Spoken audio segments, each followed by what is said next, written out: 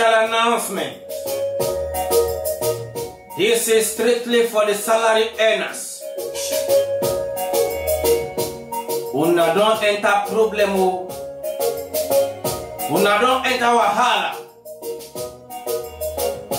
Good and fine. I know you're dey inside trouble already, but hey, this one we won't happen now. Big pass with you na think o.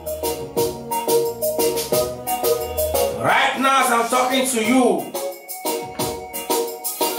those where they feel say na them they make things they happen for your organization. They don't converge. They are making decisions on how to make some of una go back home.